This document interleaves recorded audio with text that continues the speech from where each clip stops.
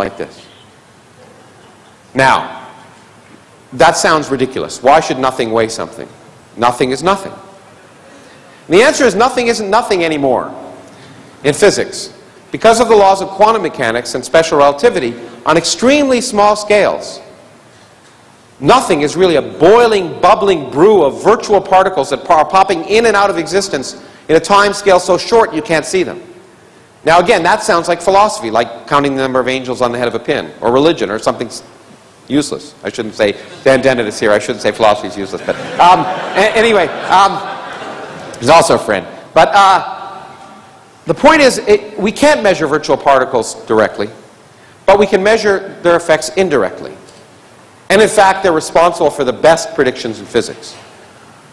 Here, by the way, is actually a, a, a, an animation that was shown at the Nobel Prize ceremonies about five years ago by a friend of mine who happened to win the Nobel Prize for, for developing the theory that produced this.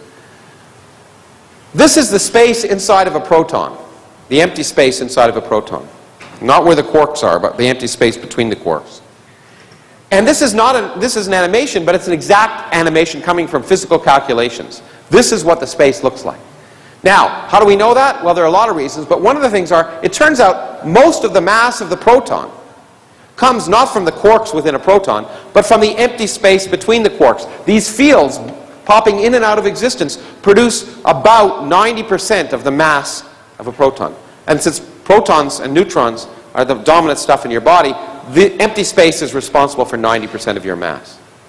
So these empty space is vital to science, and these calculations are vital to understanding not just protons, but electrons and atoms, and produce the best comparisons, the, and I will repeat this, the best comparisons between theory and experiment in all of science to 10 decimal places in quantum electrodynamics using these calculations, we can get the right answer. It's amazing. So, if that's the case, let's calculate the energy of nothing where there's nothing else. And when we do that, we come up with a calculation which is pretty bad. It's the worst prediction in all of physics. We calculate, you can't even see it, I think, there's a 1 at the end of that.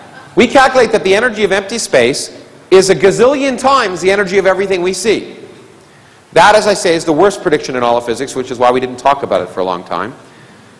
We calculate that empty space should have an energy of 120 orders of magnitude more than galaxies and stars and people and aliens and all the rest. And if that were the case, we just wouldn't be here. So we knew something was wrong with this calculation. It's been around since I was a graduate student. And we, we, we knew what the answer was. Theorists always know the answer, they're just sometimes right. Uh, the, um, we knew the answer was zero because it's the only sensible answer. Because you know you can't you can't cancel a big number like this. Let's say the energy of empty space was comparable to the energy of everything we see. Well, we'd have to cancel this big number to 120 decimal places and leave a finite answer in the 121st decimal place. No one knows how to do that in science. But zero is a number we can get beautifully in science. We use mathematical symmetries. Things cancel equal and opposite things cancel all the time in science because of symmetries of nature. So we knew the answer. We didn't know what the symmetry was, but we knew the answer was zero. And we could go to bed at night and that was fine. But you know, the neat thing about cosmology is it's really a science. And science is empirical. Knowing the answer means nothing. Testing your knowledge means everything. And so the question is, we should test what the energy of empty space is. And how can we do that? Well, we weigh the universe. How do we do that? We stand on the shoulders of giants. This, this is a picture I took in, in an island off Sweden, which used to be an island, no, an island off Denmark now, which used to be an island off Sweden. It's the island of Ven. I think I said that right. And um, this guy, if you look carefully, he doesn't have the end of his nose. Uh, his name is Tycho Brahe. And he, he, as many of you know, laid the basis for Newton's law of gravity by doing nothing other than spending 20 years on his back, a noble tradition, uh, um, uh, look, in this case, looking up at the sky without a telescope, measuring the positions of the planets around the sun. And then he was a crummy feudal lord. He got kicked off that island. He gave the data, went to Prague, gave the data to a hapless assistant named Johannes Kepler, who um, again spent 20 years without a Macintosh trying to interpret the data and, um, and fudged it, we now know. Uh, and came up with, of course, Kepler's laws, which led to Newtonian gravity. And the point is, we can use gravity to weigh the universe, including the weight of empty space. Now, why do we care? The reason I got into cosmology.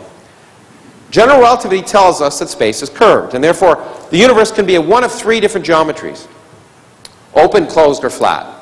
Now, I can't draw pictures of three dimensional curved universes very well, so here are pictures of two dimensional curved universes. This is a closed universe, a sphere, a surface of a sphere in two dimensions. But if we had a closed three-dimensional universe, it's very simple. It'd be very similar. If, we, if, if our universe was closed, we would look, if we looked far enough in that direction, we would see the back of our heads. Light would go around the universe.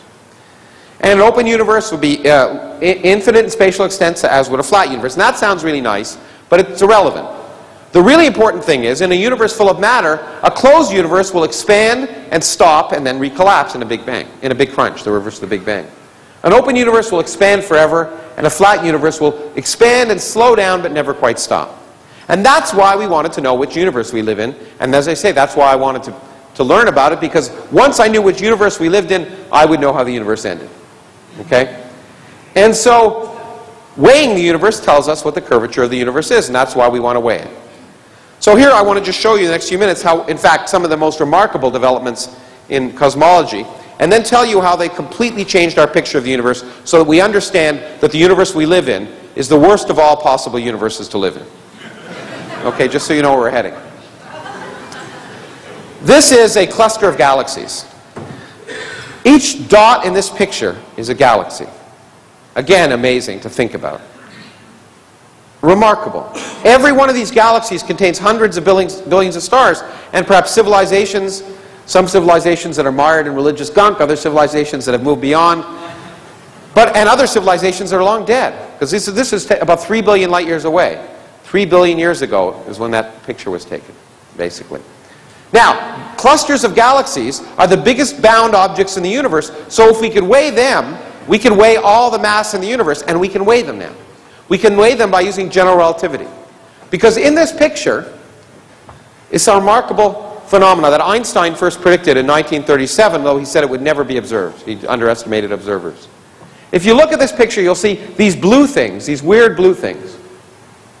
That is a phenomenon that we now understand as gravitational lensing.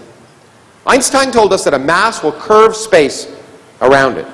And he realized, therefore, if you had a big enough mass and you have a source of light behind that mass, the light can bend around that object and come back and be magnified, just like my glasses magnify things. Or, like a cut glass goblet, if you look through it, you see many, I'd see many images of this room. Mass can act like a lens and magnify things and split images, and that's precisely what we're seeing. All of these blue things are different images of a single galaxy located about 3 billion light years behind this cluster. Gravity is magnifying the, the image, distorting it, and bending it. Remarkable. Truly remarkable. But because we understand general relativity, we could work backwards and figure out how much mass must be in that system and where it is in order to produce that image. We can weigh the system using general relativity. And when we do that, here's, here's an inversion by Tony Tyson, who's now up in Davis, these are, this is the system, and the spikes are where, the, well, uh, this is where the mass is in this system. The spikes are where the galaxies are. But you notice most of the mass in this whole system of clusters of galaxies is not where the galaxies are. It's between the galaxies. It's where nothing is shining. About 50 times as much mass in this system, and in all systems we can measure, comes from stuff that doesn't shine. And physicists, with their linguistic perspicacity, have called it dark matter. And we now understand that 90% of the mass of galaxies and clusters, including our own Milky Way galaxy, is made of stuff that doesn't shine. And that isn't maybe that exciting because there's lots of things that don't shine. You don't shine if I turn the lights out. Well, those of you from Los Alamos might, but the rest of you don't. But uh, the, um, so it could be snowballs or planets or boring stuff, but it can't be. Because for reasons I don't have time to explain, we know how many protons and neutrons there are in the universe. We can actually measure that. And there aren't enough to make up all this dark matter. So we are pretty convinced that that dark matter is a new type of elementary particle.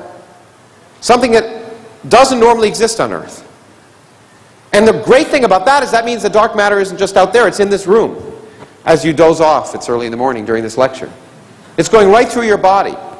And that means we can do experiments here on Earth to look for it, which is remarkable. And in fact, there, I think, I think uh, well, I'll show you an experiment in a second. But